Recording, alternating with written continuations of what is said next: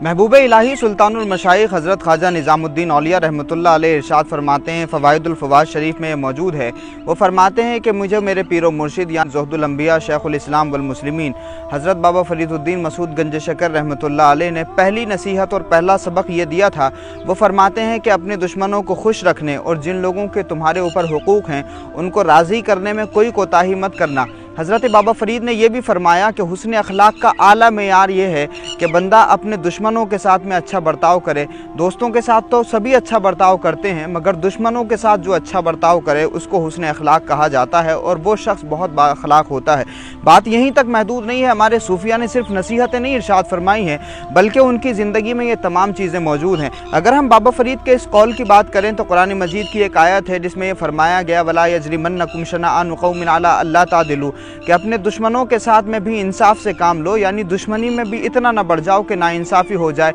ए दुलू इंसाफ करो, क्योंकि इंसाफ जो है ये तकवा के ज़्यादा करीब है। तो ये बात हज़रत बाबा फरीद की, कुरान मजीद की इसी आयत की तफसीर है। लेकिन अहम बात यह है कि हमारे बुज़ुर्गों की ज़िंदगी इन आयतों की तफसीर दिखाई देती है। हज़रत महबूब इलाही सुल्तानमशाई ख्वाजा निज़ामुद्दीन अलिया रहमत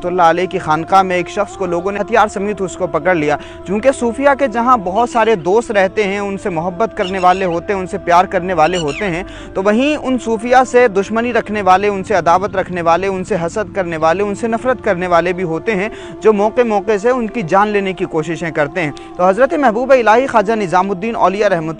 की जान लेने की भी उस ज़माने के बहुत सारे लोग कोशिश करते हैं और तारीख़ पढ़ने वाले जानते हैं कि अलाउद्दीन खिलजी उस ज़माने का जो बादशाह था, वो महबूब इलाही का बहुत बड़ा दुश्मन था। उसी तरह से कुछ लोग नफ़रत करते थे महबूब इलाही की शोहरत की वजह से, उनकी अजमत और इज़्ज़त की वजह से। लेकिन आप देखिए कि जब एक शख्स को महबूब इलाही की खानका में हथियार समेत पकड़ लिया गया और जब उस शख्स को ख्वाजा निज़ामुद्दीन औलिया महबूब इलाही के पास में पेश किया गया तो महबूब इलाही ने क्या अमल किया? हज़रत महबूब इलाही को पता चल गया कि इसके पास में हथियार है, मारने के इरादे से आया है, कत्ल करने के इरादे से आया है, लेकिन उसके बावजूद भी ख्वाजा निज़ामुद्दीन औलिया महबूब इलाही रहमत ने कोई ऐसा हुक्म नहीं इरशाद फरमाया कि इसकी जान ले ली जाए, इसको कैद खाने में डाल दिया जाए, इसको सज़ाएँ दी जाएँ। अगर यही चीज़ें हम बादशाहों के यहाँ देखें तो बादशाहों को अगर ये भनक भी लग जाए कि फ़लाँ शख्स किसी गलत इरादे से आया है तो वो उसको दीवारों में चिनवा देते थे, वो उसको तरह तरह की सज़ाएँ देते थे, लेकिन देखिए कि रूहानियत के जो शहनशाह होते हैं, उनका दिल कैसे कब्रस्तान बना होता है और वो कैसे नफ़रत करने वालों को भी मोहब्बत से जीत लेते हैं।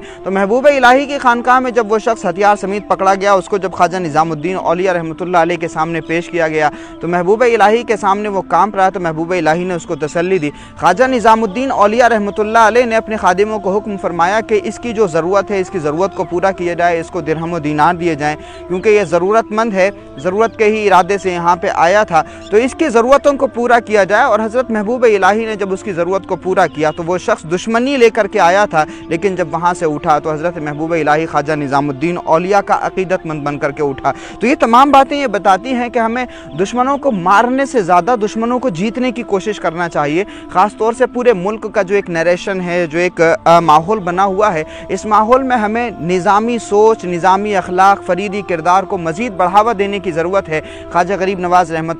की जो तालीमत हैं, हमारे बुज़ुर्गों की इंसानियत पर मबनी जो तालीमत हैं, दुश्मनियों को ख़त्म करने के हवाले से उनका जो किरदार और रवैया है, हमें इस रवैये को अपनाने की ज़रूरत भी है और इसी रवैये को अपने जवानों, अपनी नस्लों को भी बताने की ज़रूरत है ताकि हमारे अंदर बर्दाश्त पैदा हो, सब्र पैदा हो और अपने दुश्मनों के साथ भी खुश अखलाक़ी, नरमी और मोहब्बत करने का जज्बा पैदा हो। यकीन जानिए कि जिस दिन हम सूफियाना रविश के मुसाफिर हो गए, उस दिन ये दुश्मनियाँ और उस दिन ये नफ़रतें तमाम की तमाम हार जाएँगी और फिर मोहब्बत जीत जाएगी।